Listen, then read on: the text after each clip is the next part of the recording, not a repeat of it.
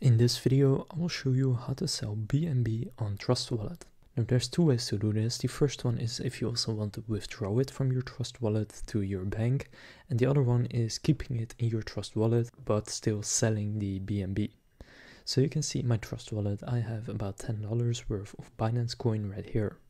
The first option is to just go and click on sell and then here select BNB and then choose how much you want to do. Now the minimum here is pretty high, so you can see it's 0.02 in this case.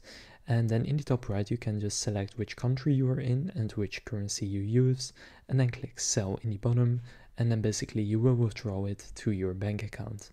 Now that's the first option, but the second one is for if you want to keep it in your Trust Wallet account. And to do that, just gonna click swap in the bottom. Then at the top, just gonna set it to BNB. So to do that, for me right now, it's set to from Tron and then USDT. Now first I need to change from Tron. So right here, I need to select a BNB smart chain and then I can select my BNB right there. And then where it says two, you just want to put it into a stable coin. So for example, I'll use USDT, but you can also go with USDC or any other stable coin. Then at the top, just enter how much you want to do. I'll do 100%. And then from there, you just need to wait for it to load.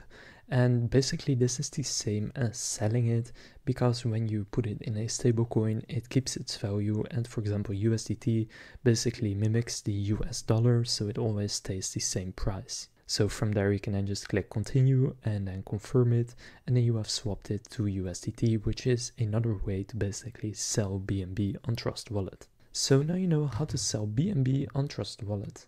If this video was helpful please consider leaving a like and subscribing to my channel. With that being said I will see you in the next video.